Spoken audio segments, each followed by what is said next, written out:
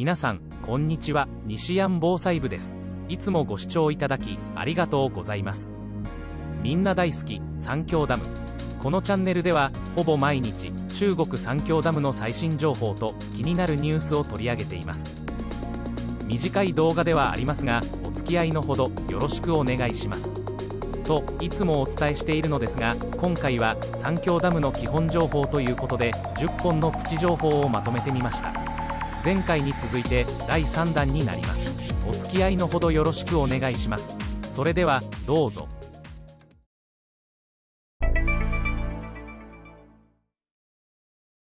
上流の観測データが摩訶不思議である県。三峡ダムの上流にある寸丹観測所。この観測所はダムから 500km 以上、遡った重慶市にあります。これは去年のデータになります。ダムではないので、通常は流入量が増えれば水位は上昇。逆に、流入量が減れば、水位は下落します。しかし、9月30日あたりからおかしなことになります。流入が明らかに減っているのに、水位が徐々に上がっていくのです。ちょうど1年前、ナンバー14でも取り上げましたが、三峡ダムの水位に関係するのではないかと考えています。つまり、ダムで、ある一定の水位まで上昇すると、上流の観測所との水位差が縮まり、水面を共有するのではないかと思ったわけです。ですから、観測所の流入が減っても、水位はダムに合わせて変動するのかもしれません。さて、今年のグラフを見てみます。10月の11日あたりから分離が始まっているように見えます。果たして今後どんな感じになるんでしょうね。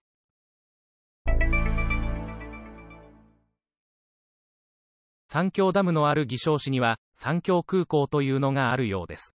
もう地図を見れば三峡ダムがどの辺りにあるかすぐにわかりますよね。正式名称は偽証三峡空港。ダムからは 55km ほど、偽証市街から 25km ほど離れているみたいです。空港は1996年に完成して、2600メートルの滑走路ですから、そこそこ大きな空港になるかと。北京、上海、深センといった都市とも結び、1日50便ほどの発着があるようです。高速道路が整備されているようなので、バスだと、ダムまで2時間弱で着きそうですね。50km も離れて、三峡という名前はどうかとも思いましたが、日本でも、そういえば、よく似た感じの名前の付け方があったなぁと思い出しました。例えば、岡山桃太郎空港、富士山静岡空港、阿蘇熊本空港、宮崎ブーゲンビリア空港、徳島阿波踊り空港、などなど。いろいろあるようですね。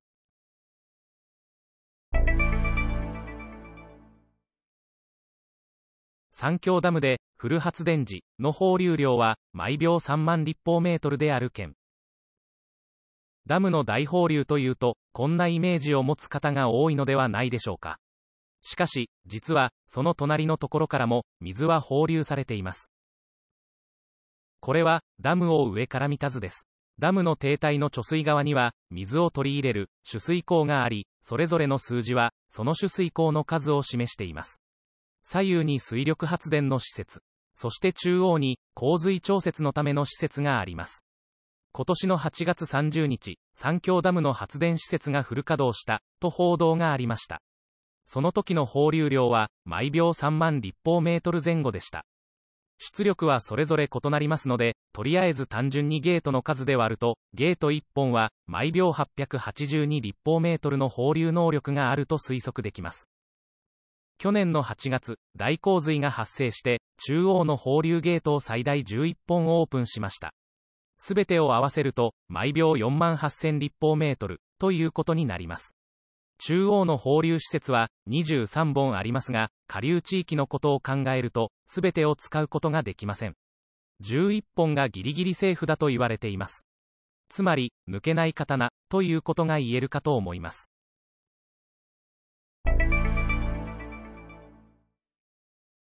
さて、これは三峡ダムの貯水側の写真です。このチャンネル解説に伴い、去年の10月から、ほぼ毎日、三峡ダムをウォッチしているので、ある程度の知識があるつもりなのですが、それぞれの施設について、少し見てみたいと思います。画面、一番左が、ダム観光の際に立ち寄る展望台になります。近くにバスの駐車場があり、入場した後は、途中、屋外のエスカレーターを使い、展望台にまで登るようです。ここからダムの側面を見るコースが定番のようです。そして次にシップリフトが見えます。中型、小型の船を上げ下げするエレベーターでだいたい40分ほどで1隻の船が通過できるようです。さらに水力発電のための施設があります。2台のクレーンで16本あるゲートを操作します。そして中央の放流施設。クレストゲートが22本、常用の洪水場機が23本、砂の排出ゲートが22本あり、その操作を3機のクレーンで操作します。再び、水力発電のための施設。1機見えていませんが、2台のクレーンで12本のゲートを操作します。最後に、沈む島。洪水シーズンになると、頂上部分を残して沈むことになります。プチ情報で断片情報はお伝えしていますが、皆さんの中で情報は整理できたでしょうか？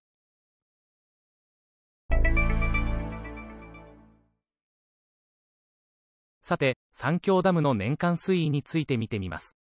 ざっくりしたイメージですので、ご了承ください。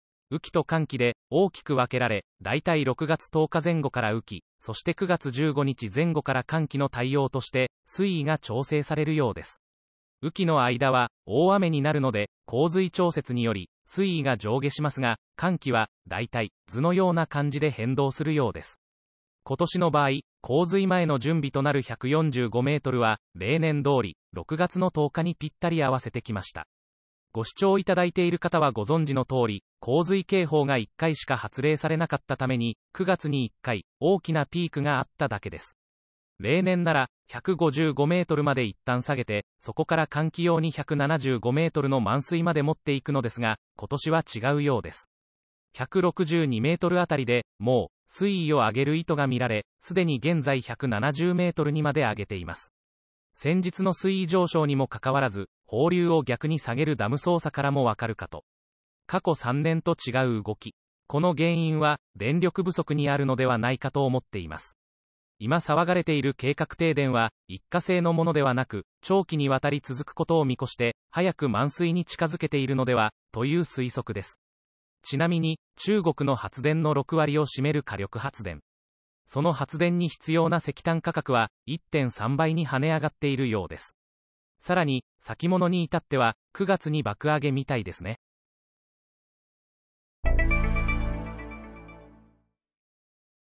北京オリンピックが来年の2月に開催されるようです。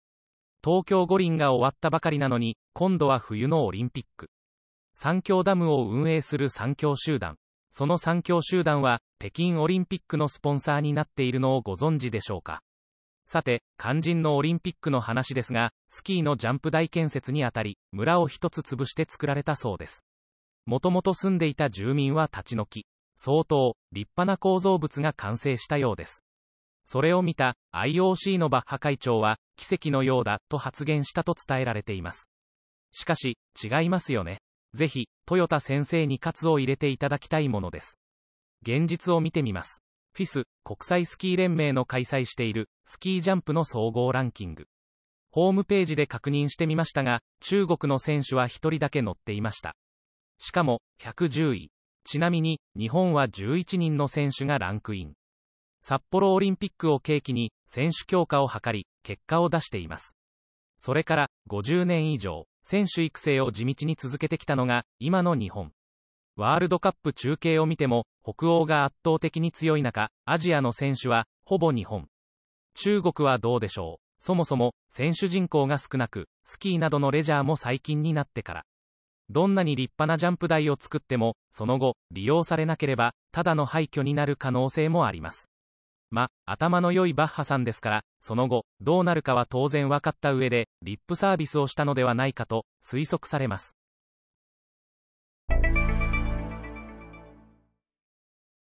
三峡ダムの水力発電は全部で34基のタービンで行われているようです。左岸に14基、右岸に12基、そして山の中に8基のタービンがあるようです。もともとの計画では、左岸と右岸の合計26機が計画されていましたが、後から8機が追加された模様。ひときわ目立つのが、5万キロワットのタービン2機です。単体だけでも相当なものだと思われますが、これは電源喪失した時の補助電源用なのではないかと思っています。1系、2系の2系統で、両アクティブじゃないかと推測しています。東日本大震災では、電気を作っているはずの原発で、電源喪失という苦い教訓がありました。他のダムがどのような運用になっているかは分かりませんが、万が一の時のための設備かもしれません。左岸の14回線、右岸と山の中の18回線が2系統ではるか遠くの上海あたりに送電されるようです。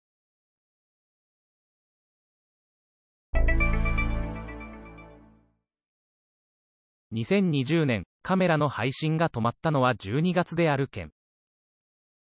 ここ数日、三峡ダムの現地映像が一部止まっている件。何か不都合なことがあるのではないかと、と疑念が湧いています。去年はどうだったかと振り返ってみると、12月4日に映像が止まりました。覚えておられる方もいるかと思いますが、去年の12月、中国各地で電力不足により、停電が発生していると、ざわつきました。日本のメディアが報道したのは、クリスマス前ですが、実は、いろいろな動きが12月の頭から発生していた事実が判明。ちょうど、その前あたりで、現地カメラの映像が止まった、ということを思い出しました。今年はどうでしょうね。さて、現地カメラの場所について整理しておきます。まずは、メジャーどころで、ダムの横からの撮影ポイント。映像で言うとこんな感じです。次に、ダムの貯水側、遠目の映像。おそらく、マンションが立ち並ぶ、奥の方から撮影しているものと思われます。そして、貯水側、近めの映像。これは、毎日、動画の中で、水位をウォッチするのに、助かっています。去年は、これとは別に、ダム正面の映像が流れていました。場所はこちらになり、記念公園の中から撮影していると思われますが、今年は見つかりません。ここが一番、わかりやすいのですが、配信はないようです。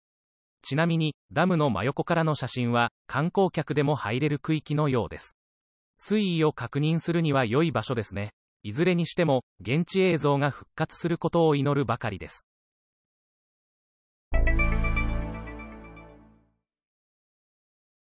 ダムの上にあるクレーンは、相互乗り入れ不可である件。おなじみのこの映像。ダムの上には、クレーンが設置されています。放流施設のところに、3基。左右の発電施設のところに、それぞれ2基。さらに、山の中の発電施設用の取水口のところに1基。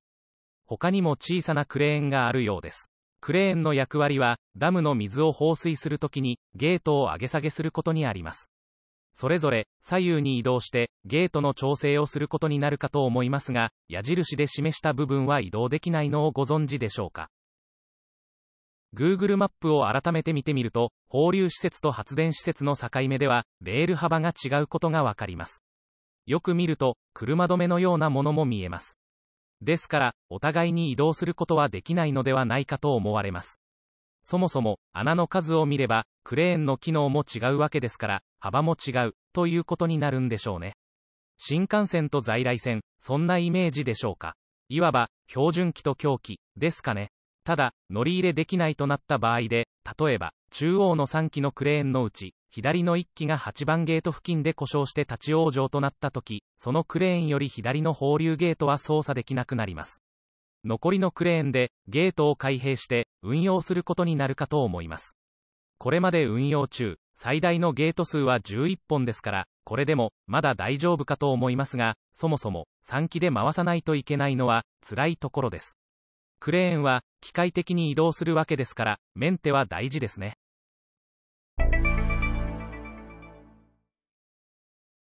三峡ダムの上流に4つの巨大ダムがあり、そのうちの1つ、バイフタンダムが今年の6月から正式運用に入った、という話は何度か取り上げました。党の100周年に間に合わせるかのように、わずか4年で完成させた事業。バイフタンダムは、三峡ダムに次いで、中国第2位の発電能力があるそうです。そして、6月の28日から、16機あるタービンのうち、2機のタービンを稼働させた、と完成メディアが大々的に報じました。あれからちょうど3ヶ月が経過したわけですが、今のところ3期目以降のタービン稼働のニュースは一切流れてきません。来年の夏までに16機あるタービンすべてを稼働させると発表されていますので、単純計算で1ヶ月に1機以上を順次稼働させていかないと間に合わないことになります。最後までご視聴いただきありがとうございます。ご興味がありましたら、チャンネル登録とグッドボタンを押していただけると幸いです。こっそりメンバーシップも始めてみました。それでは次の動画でまた。